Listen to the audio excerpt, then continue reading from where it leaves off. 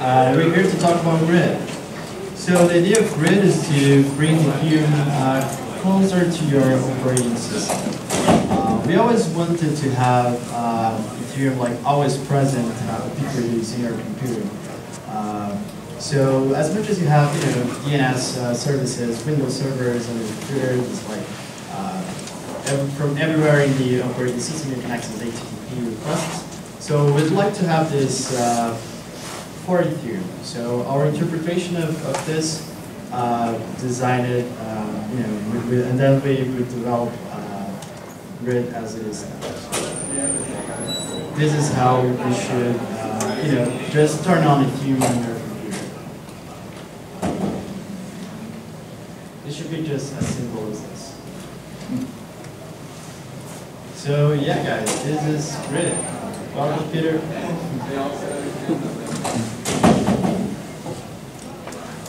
Right, and small demo. So here it starts with a menu application, and then you can just, uh, with a click of the search, start Geth, and then it, if you don't have it downloaded, you download and connect uh, using the Lifeline. So if you click it, you, you go straight to the uh, more details page. Uh, here you've got uh, links documentation, Unity, uh, some apps, version list. You can upgrade, downgrade, uh, just with a click, you just you know, and switches uh, the version for you. Uh, here you can uh, use this form to uh, well configure a node, and that results in a series of flags uh, related to that. We've got some sensible defaults and even some cool stuff like presets for MetaMask. So here you can you know just edit your flags to go beyond what Grid now. So you can just copy, edit, uh, do whatever you want with it. To start to just flip it like just like that, uh, small interface, and then you take you straight to the terminal with you know the regular output. Uh, we also provide some uh, you know node information, so you can have sync uh, status. Uh, and of course, when I was testing, you could get here. okay. So uh, one aspect that's uh, good to highlight is uh, how Grid can serve as an Ethereum app store for tooling and Launchpad as well. So app stores, what do they usually do? They help with uh, app discovery and you know securely installing software, just like your uh, phone app store. So like you have discovery. So uh, here we, we help users finding well Ethereum nodes and tools and apps. We'll talk more, uh, more about this later. And we handle all the installation of it, uh, file integrity, security, code signing, uh, and Launchpad, which is uh, how easy it is to configure it uh, and zero friction to run. So, you know, uh, the ecosystem has, you know, tenfold in at least in number of clients. So we have like this in 2015, and then 2019, and then, you know, the list, you know, just increasing on. So here now, uh, this is what you get out of the box with Grid. Uh, and uh, we call these uh, plugins, which could be either uh, Ethereum nodes, uh, you know, could be client, it could be even like IPFS, this a storage tool. So, plugins. From there, we can uh, define lots of uh, uh, fields uh, that they are all defined in a single file. Uh, so we can have things like this, which is not uh, bundled in Geth by default, but we can have, we can just you know provide this preset. So what what has what does Geth plugin have? We got the releases feed, so we pull uh, downloads uh, directly from uh, the Geth source and not from any third-party uh, package manager. Uh, we got we put the default flags, we put some sensible defaults. the communication protocol, it, it is all defined on the plugin itself. So Grid doesn't have anything hard-coded for Geth or anything like this, which is good for extensibility because we can integrate it with, you know, virtually any other client. Links for documentation, related apps. So this all goes in a single file. And as such, we can have several others, including yours. so what are grid apps? Uh, so they, these are uh, self, self-packaged web applications that run offline. They are unpacked and verified using our own packaging system. Uh, and you know, anyone can build those apps and anyone can use it. So, we'll talk about, uh, about this uh, in detail later. So Grid can be really useful for onboarding developers uh, in a different approach. So several de developers start today using uh, gateways, uh, you know, some other tools. They're like, uh, you know, on the flag of standing for using real nodes uh, for development. You can just start a local development um, uh, chain on your computer and then start developing with it. So yeah, Ethereum nodes are not for miners. Developers can also use them. So you should just do this one. And as well, uh, Lives 2.0, uh, we can have uh, things like this. How cool is that? So we can start a beacon with it. Then we can start, you know, a small cluster validator, uh, spinning up some uh, shards on it. And then we can have lots of others. Uh, then we can just swap the beacon. And then, you know, keep signing, keep uh, profiting. So yeah, Grid can help 2.0 make Ethereum uh, 2.0 more inclusive, providing tools, UI tools for everyone, shortening the feedback loop of these uh, developments, uh, hopefully speeding up iterations. Uh, of course, we're already talking with uh, some core developers on these regards. And compare across implementations, which is really important for this stage of the project uh, and using grid apps to manage state monitor validators and uh. So under the hood, and uh, Mr. Philipp. Thank you, Ed. So, as we learned, Grid already comes with a bunch of clients out of the box, and there's many more clients that will probably be integrated in the future. And you can really think of Grid as a decentralized package man manager all these different clients already have their own release management. They all have their own formats uh, that they provide. Some have Docker files, some provide binaries, maybe not all platforms. Um, some need to run a script before they can be started. Uh, this was the, the first challenge for us to have this kind of communication with the, with the client providers, how we can define good standards. Um, the other, the other big challenge for us is, of course, they all have different hosting, so we need to talk to a bunch of backends. Um, and these are probably the most like prominent and, and relevant backends, but they are all very centralized. And maybe in the future someone decides, hey, I want to host my binaries on IPFS, or maybe something we don't know yet. And we wanted to not restrict grid. We wanted to allow all these like projects to keep their release management strategy and we would we would adopt to it, and we we needed to uh, engineer grid in a way so that it's flexible for the future. And this brought us very quickly to the big challenge, which is security. Like, how can we make sure that if we if we don't know the, the origin or if we don't know the connection between the, the project and the origin, how can we make sure that the clients, that the users are downloading, that they are that they are legit, that they are safe? And we came up with a with our own package signing scheme. Um, we have a package format, specification, a reference implementation, a CLI tool, and an EIP draft, and this all goes under the name Ethereum sign packages. And I will briefly describe why we are at this point reinventing the wheel and not just use any like package signing that is out there. So package signing is a, is a critical piece of grid, and it has basically just two steps, right? You sign a package, you verify a package. In traditional code signing, uh, usually you, you want to have a hardware device that, that stores your private keys or your certificate.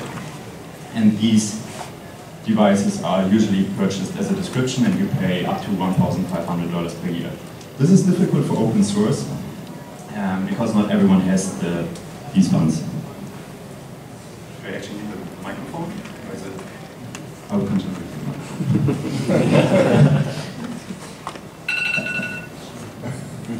for Ethereum signed packages, you can use your existing hardware devices that store your private keys, such as your ledger. but you don't even need to pay something. You can also use two-side MetaMask to sign packages now.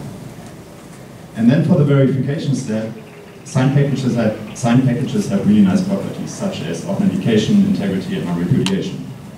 And you get the same with Ethereum, Ethereum signed packages. But this is not all that goes into it. If you do the authentication step and you want to know like who's the author of the package that I downloaded, you usually validate it against an identity or a certificate. And this is also part of the sign-up process. Before you can get the device, you need to register with the certificate authority. They issue the certificate and they do some background checks on you and you, you need to provide them with a lot of data. And this data is part of the, of the package information. For Ethereum signed packages, if you do the, the verification step, you get an Ethereum address back, a public address. And this is cool for two main reasons. One is you can immediately send money to the address, to the author of the package.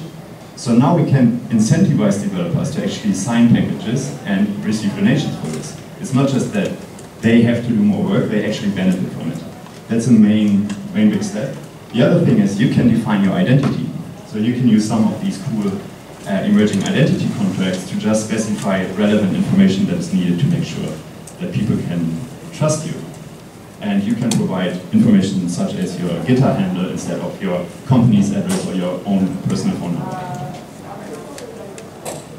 We thought that, that this was really cool and we didn't just want to use it for the binary management, but we also started to sign our own software updates with it. Our user interface, we, we, we packaged the web UI independently of the binary so that the updates get smaller. We signed these updates to make sure that it's secure. Then we thought, hey, maybe we can also like use other applications like Remix. So we made, made a test and actually loaded, um, uploaded Remix to IPFS and downloaded it and started it in Grid.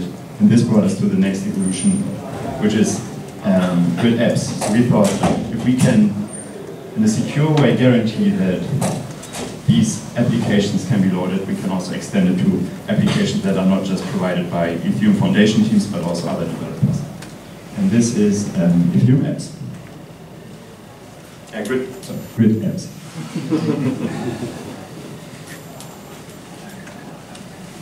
Okay.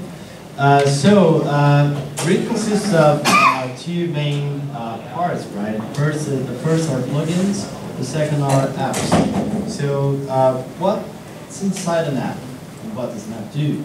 So, uh, an app can, can have a related client, an associated client, uh, a package URL, client settings, and local URL import. So, what does that mean? Uh, if an app depends and relies on, uh, let's say, Geth, let's say uh, GraphiQL, uh, that's the new GraphQL uh, interface for, for uh, we have a, an app for this. and it's specified on it that it requires Geth to be started. you know, and it has the address and port of it, and of course some settings around it. So it's like a manifest file uh, to define how should that uh, little piece of uh, functionality should uh, behave. But, uh, you know, and this uh, all goes into a single file, and this is GraphQL indexing. So here we have on the apps section of Grid, you can have, you can click launch, and then if Geth is not started, it will prompt you saying, Okay, the application GraphiQL uh, request to start with those flags, and then press OK to all this time. So it, it now it, uh, it works with, uh, with specific clients, but it can also work with uh, client types. So it could be storage types. So prompt you, okay, so we need to run this app with a storage client, so you can just you know start your own fav your favorite uh, storage app, such as could Swarm, so, uh, self-packaged web application that run offline. You probably read this slide before. right. So, uh, worth mentioning that grid apps are not dApps. So, the idea here is to provide lower level access to those clients. So, you can have dashboards, you can have monitoring systems. You can even connect to several clients at once using some uh, special API that we provide. So you can query clients uh, and, and not Web3 providers. That's the main difference. So another example is the Clef app. Uh, we made a UI for the Clef, uh, the Ethereum signer. And this is how it works. So we have here, uh, to the left side in the sidebar, we have the Clef client. So you just open it, it will prompt you. Uh, it, it, has two requirements. One is uh, Clef itself, the other is Geth. Uh, so when you start this app, it will prompt you, and then when you click OK, you would, you even download those uh, clients if you don't have them installed.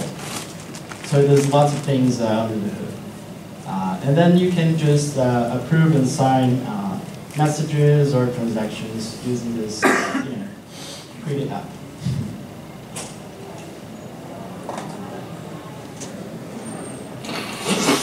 Another example is the RPC Tester app. Uh, this one uh, makes you test uh, RPC calls for several clients, not only Geth, but you know uh, every client that we have today uh, in Grid. So it's a really nice way to test, you know, oh, sorry. Okay. Okay. Uh, to test those methods and then to get returns. It's like a little postman for Ethereum. And this is a small app. So we made it out of fun and out of uh, gamification purposes, and then, you know, people can do their own. So grid, ideas to discover, download, update nodes with just one click. Uh, it can even detect requirements just such as, uh, you know, uh, in the case of Besu, uh, requires Java, so we can, you know, just do our own magic to make sure that you have it. If you don't, it will prompt you to, you know, go get it or, you know, try to install it. Uh, easily configure your node, uh, with, them, uh, with some sensible defaults, the MetaMask uh, presets, and registries that allow third-party plugins integrations. Uh, and that means uh, you could have such as a stream of plugins that are specific to your company if you work on an enterprise. Uh, and then only your employees would see it.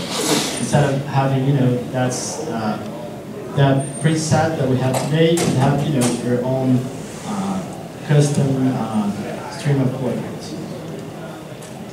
So we do have tutorials of things uh, that you can do and accomplish with Grid. Here's the link. Uh, have fun. Um, I'll wait for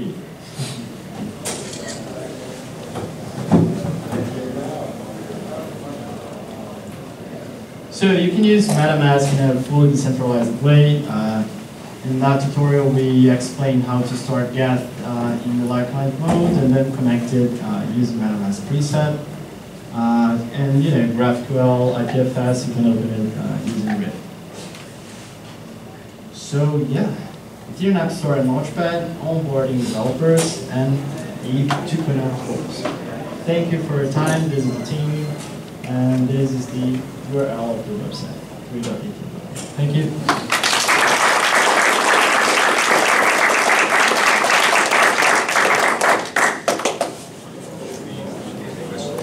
Do we have time for questions? Uh, we have one more minute. One minute.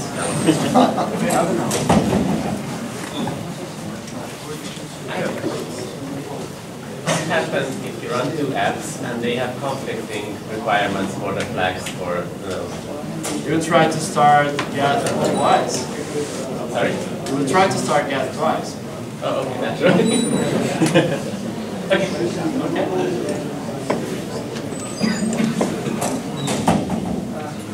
Nailed it.